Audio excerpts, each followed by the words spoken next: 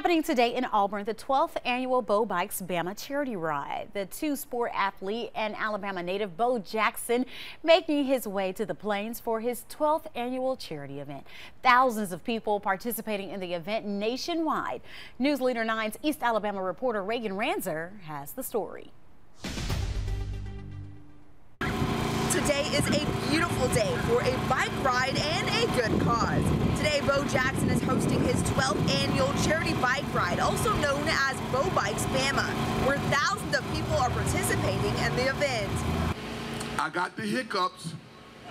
Anybody got a cure, you get a suitcase full of money.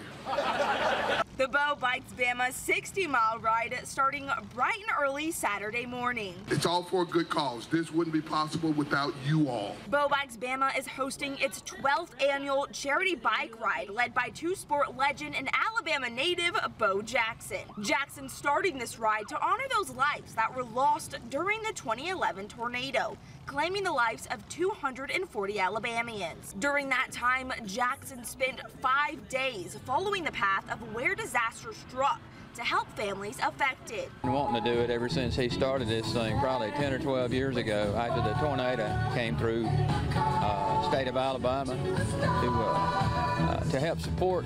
Money raised during Bo Bikes Bama goes straight to supporting the Alabama governor's emergency relief fund that repairs homes affected during disasters and funds community storm shelters. Bo does a great job and his support staff does a great job. One of the best run rides I've ever participated in. Jackson hopes to inspire everyone to contribute to the cause. It's packed like this every year, and everybody loves it.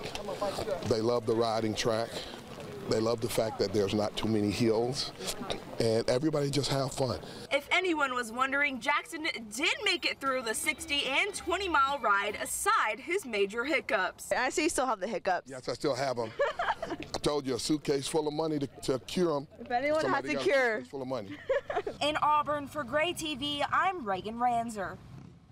Now from your Storm Team 9 Alert Center.